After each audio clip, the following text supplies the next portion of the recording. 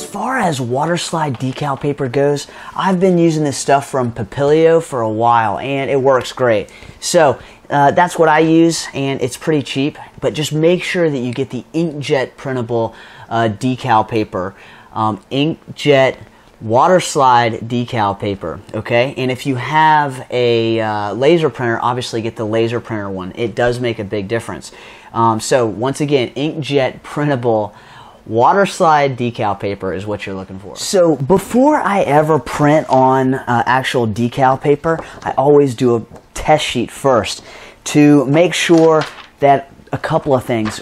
Number one, make sure all my decals are going to fit on my paper, and to make sure that I got plenty of uh, plenty of ink because you'd much rather make a mistake on a on a uh, cheap piece of white paper than one of your only few uh, pieces of decal paper. Water slide yeah. decal paper is uh, pretty thin, so once you print on it with your inkjet printer, you've got to seal the ink down onto the inkjet um, water slide paper. So what we're going to do is we're going to use the fixative that came with the uh, water slide paper, or in a pinch, you can use just some gloss clear coat. Uh, but it's obviously better to use the fixative that came with it. Um, just a really quick light coat, and that will seal the ink down onto the water slide paper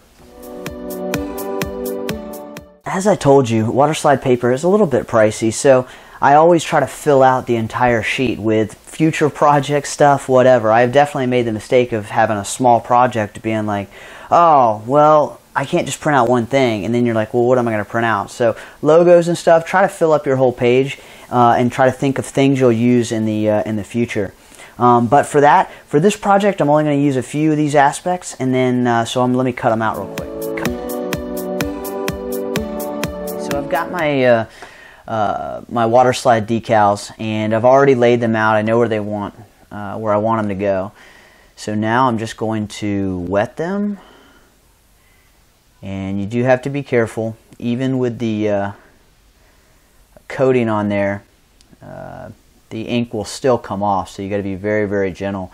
So what you want is you want all the paper on the back to be completely soaked through and you'll see the paper uh, start to get a little bit translucent um, and transparent so you know it's soaking in the water.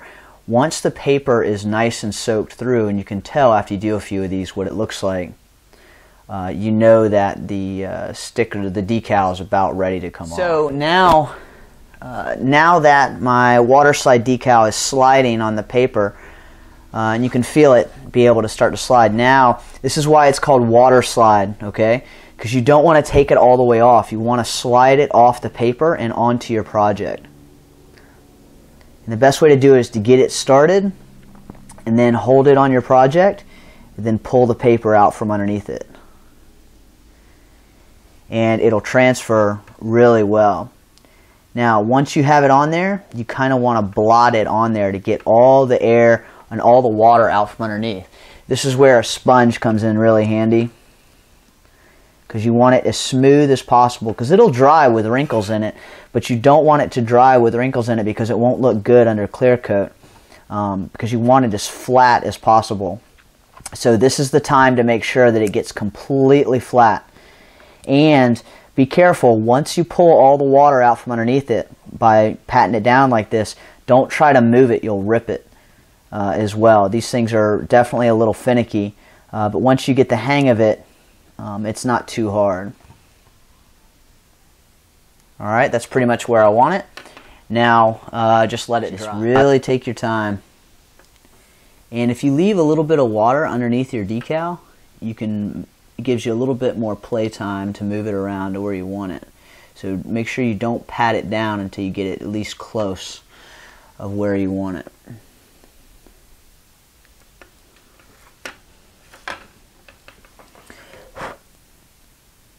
But as it starts to get closer and closer to where you want it, then that's when you start pushing down a little bit and it gets a little bit harder to move.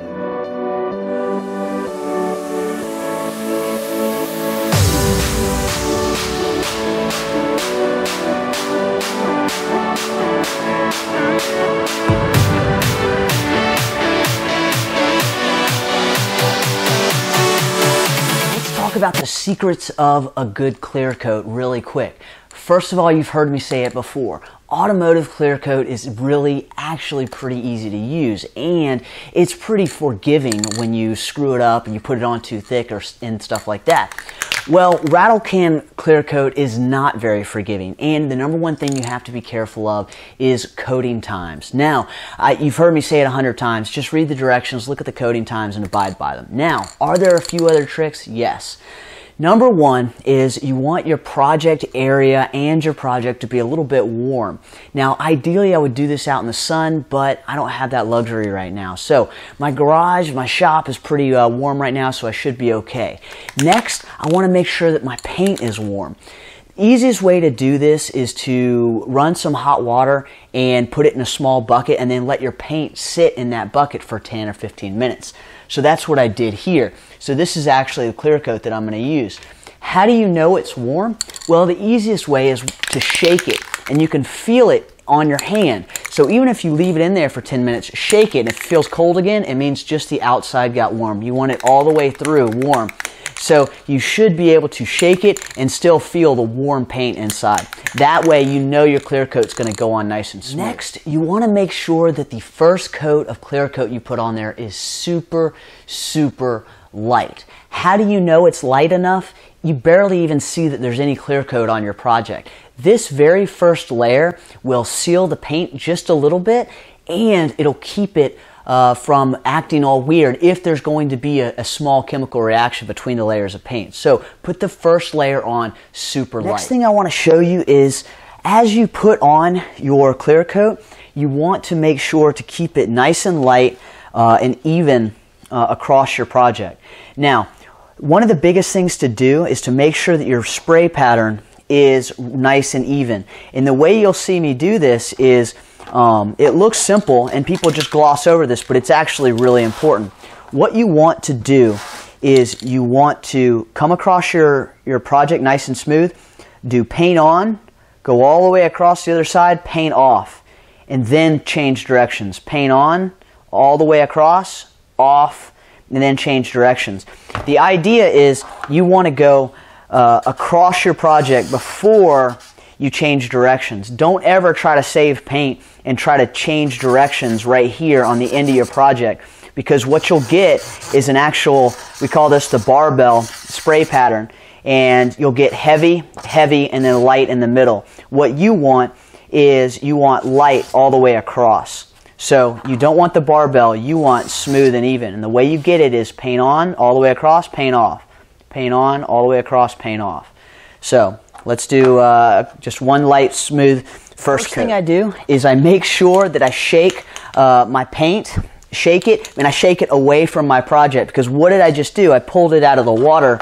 So um, I don't want to shake water onto my project because a huge way to screw up your project. Just have a drop of water on there now. We're not trying to do the water drop effect right now, um, and it would be disastrous. Then I'm going to make sure that my paint is flowing really well, and then I'm just going to do one light coat.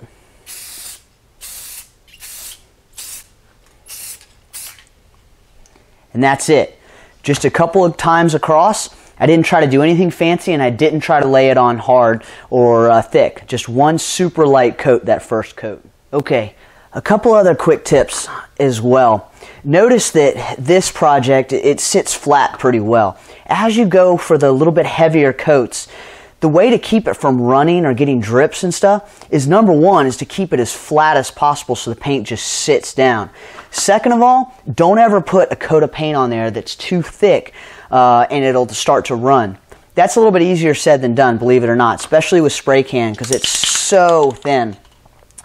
Okay, so now we're ready to put on our second coat, or really our first medium coat. And what does a medium coat look like?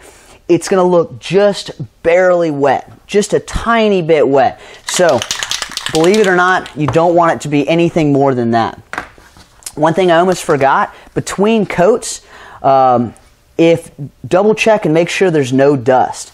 So one of the tricks to being able to do a clear coat without having to sand and all that other craziness is to just make sure that at each step there's no dust. The smoother it is, the better the coating you'll get.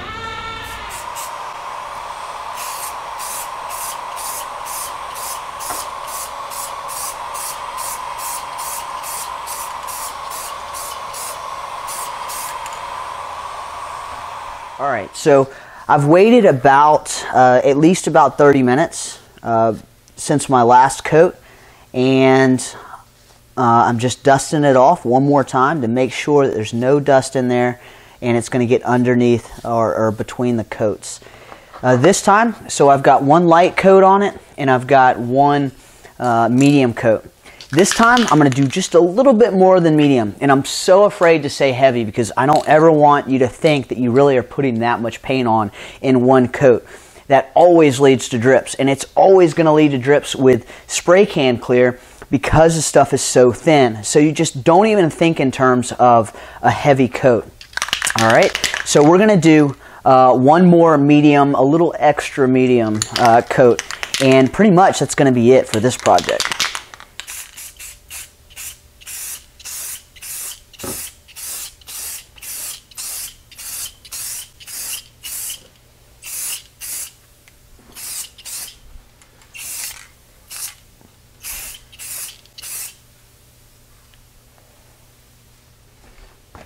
All right, looks good.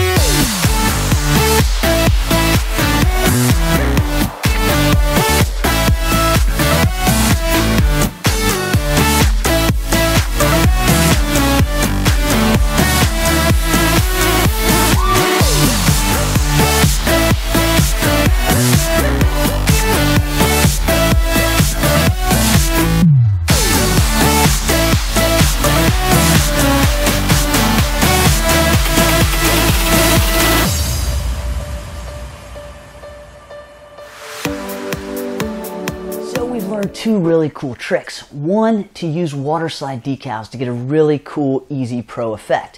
And that's how professional painters actually get their logos and stuff on most of their finished products.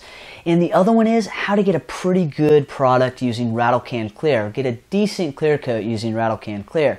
Can you go a little bit more crazy? Yes, but you're never going to be rewarded by putting extra coats on with rattle cans because that is when you start getting into the orange peel and it starts getting bumpy.